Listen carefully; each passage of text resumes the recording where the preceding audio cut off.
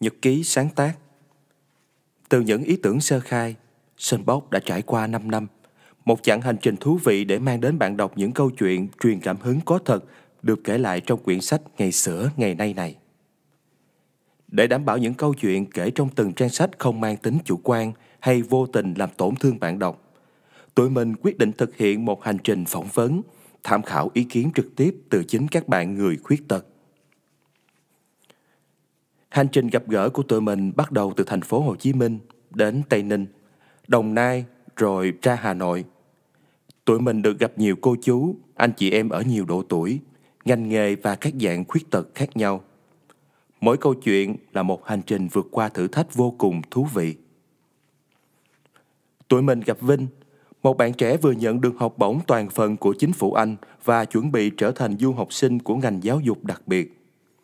Vinh mất hoàn toàn thị lực từ bé và đã có những câu chuyện cười ra nước mắt, được Vinh kể khi đối diện với thử thách do khiếm khuyết về nhìn gây ra. Vinh đưa tụi mình đi từ bất ngờ này đến bất ngờ khác khi chinh phục bộ môn tiếng Anh. Máy tính được Vinh cài phần mềm đọc màn hình để hỗ trợ người mù và khiếm thị. Còn điện thoại là công cụ đắc lực phục vụ cuộc sống hàng ngày. Vinh chia sẻ sự phát triển của công nghệ đã hỗ trợ rất nhiều cho cuộc sống của người có khuyết tật về nhìn. Và nếu bạn thắc mắc làm sao người mất thị lực có thể chat, thì sự thật là họ có thể thả cả biểu tượng cảm xúc cho tin nhắn của bạn đấy. Tụi mình gặp anh Tây, mất hai tay do tai nạn lao động. Anh chia sẻ về quá trình làm quen với cơ thể mới và hành trình anh tìm đến vẽ để thỏa mãn đam mê khi còn thở bé. Anh chia sẻ, Giờ mình có gì xài nấy thôi. Giờ đây anh có thể kiếm tiền từ đôi chân của mình thông qua những bức tranh do chính anh vẽ.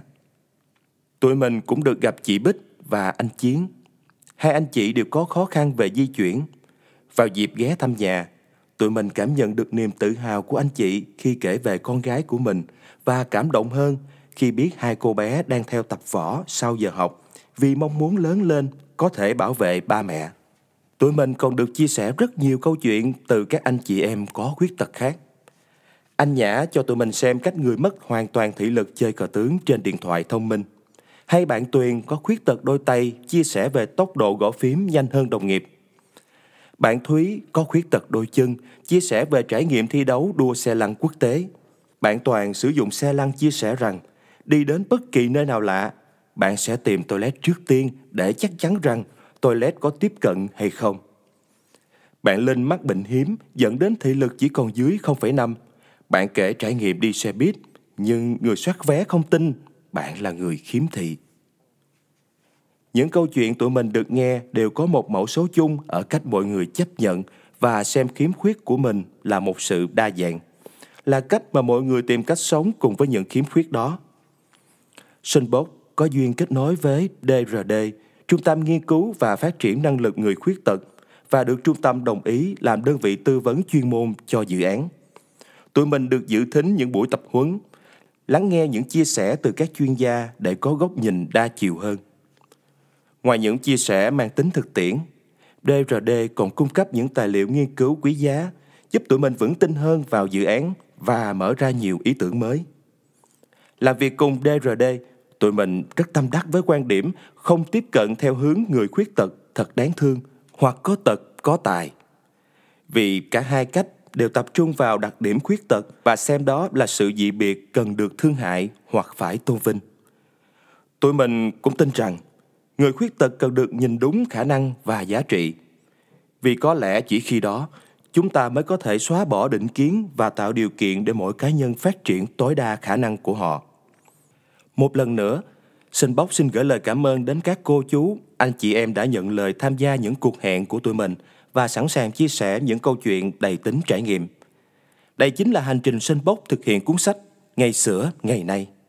Tụi mình cũng như nhiều anh chị đang làm trong lĩnh vực này rất hy vọng rằng một ngày nào đó khi mà chúng ta có thể giải quyết được hết những thử thách mà khuyết tật mang lại thì người khuyết tật sẽ không còn khuyết tật nữa mà chỉ còn lại người mà thôi. Mà bật mí là Xuân Bốc tụi mình đang ấp ủ phần 2 của Ngày Sửa Ngày Nay với 100% câu chuyện người Việt Nam dọc miền đất nước. Với ý tưởng cuốn sách là Đi đâu cũng thấy đời rất đẹp. Bạn nghĩ sao? Sinh bốc hy vọng sẽ nhận được nhiều chia sẻ và câu chuyện đến từ các bạn.